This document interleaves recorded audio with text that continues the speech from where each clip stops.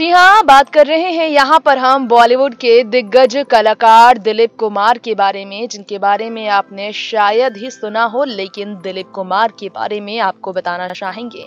जिस तरह से दिलीप कुमार को लेकर ये खबर आई है, ये सुनकर वाकई में लोग ज़रूर चौंक जाएँगे, क्योंकि दिलीप कुमार हाल ही में ट्विटर पर एक पोस्ट के ज़रिए इस रात से पर्दा उठाते नज़र आए कि उन्हें फ़िल्म इंडस्ट्री ही नहीं, बल्कि अपने सभी चाहने वालों की तरफ़ से मिलने वाले प्यार की वजह से वो बहुत ही ज़्यादा इमोशनल हुए। पत्नी के पास रोते रहे दिलीप कुमार। हाल ही में उन्होंने अपना संतानवे जन्मदिन मनाया और नब्बे साल की उम्र को पार करने के बाद, पंचानवे की उम्र को पार करने के बाद अब संतानवे की उम्र में दिलीप कुमार जिस तरह से फ़िल्म इंडस्ट्री से हटकर अपने काम काज में बिज़ी हैं, अपने आराम में बिज़ी हैं, जो कि अपनी बीमारी को खत्म करने के लिए, जड़ से बीमारी से दूर होने के लिए अपनी आराम में अपनी पत्नी का साथ पा रहे हैं इसे लेकर वो पत्नी का सामने कई बार भावुक हुए हैं। देखिए जरा ये तस्वीरें दिलीप कुमार को लोगों से मिलने वाले प्यार की वजह से हमेशा इसी तरह भावुक होते हुए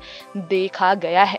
तो वहीं इसी के साथ साथ हम आपको बताते चले कि दिलीप कुमार फ़िल्म इंडस्ट्री में फ़िलहाल कई सालों से दूर इसलिए भी हैं क्योंकि अब वो पूरी तरह से स्वस्थ नहीं रह पाते। घर पर ही उनका इलाज चलता रहता है और अपने इलाज की वजह से ही दिलीप कुमार चार दीवारों के अंदर, जी हाँ घर के चार दीवारों के अंदर छुप कर आराम से रहते हैं। नेक्स्ट नाइन न्यूज़ से तृप्ति Politic Report.